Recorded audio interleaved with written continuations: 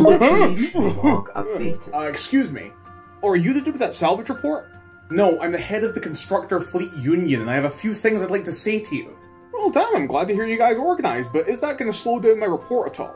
Oh, you mean the one where those ancient mining drones attack that science vessel? Yeah, that one. We agreed in our contract with the government that we do not start construction jobs in a system unless that system has been fully surveyed and is free of hostiles. Unless, of course, time's of the essence, like if there's a salvage project or a probe recovery. Those rules were put in place to stop the government from sending us into unsurveyed system where we could potentially be put in danger. What if we were to encounter aliens? Well, we are a xenophile civilization. We're probably gonna wind them, dine them, get to know them. Look, what if we meet aliens and they immediately turn hostile? We're not trained in xenodiplomacy. Do you want us to handle first contact? Listen, comrade, I've read this book, I've seen the movie, I've played the game, I've bought all the DLC. You know what space is most of the time when we send science vessels out? Fucking empty. If they didn't get ambushed the second they enter the system, chances are you're gonna be safe. You're sending us into unsurveyed systems on the off chance that you want to build a starbase there. Because it takes years for you to just travel there.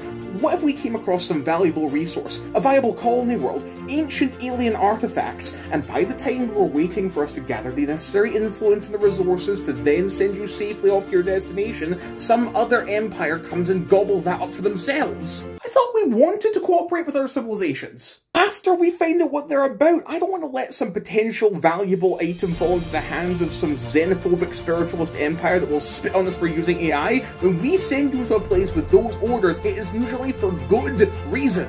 The ISS, if not friend Y ear, says that you directed us towards the system with the mining drones minutes after they attacked. They didn't pursue the science vessel, so we assumed they had a minimum safe distance. We got a move to and wait order right after the ISS soup for my family finds dust in a backwater system that gives all of their lab rats psychic powers. I mean, the potential applications when you think about it. We got a move to and wait order just after the ISS Terry the Fat Shark reported that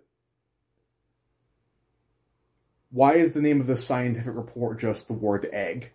Situation log updated. What did the update say? What did the update say? Situation log updated. What have you got there? It's just a minor curiosity, nothing to concern yourself with, but if you would just make sure that there's somebody in the system for which... No. Listen. You cannot be serious. If you let me explain the theory. Absolutely not. You are fucking demented. We ran so many simulations. That is a black hole. And I want it. And I don't want to have to negotiate hazard pay for fucking spaghettification. Do we even have the technology necessary to build star structures in systems that contain black holes? Research complete. We do now? Research complete. And now we can refine dark matter from it? Research complete. And now we can use that dark matter to power our engines. Research. That's it. I don't care how cool any of that shit is. I am calling all the members. We're going to have an EGM and we're going to decide what to do about this contract. No more sending us to any unsurveyed system. Incoming transmission.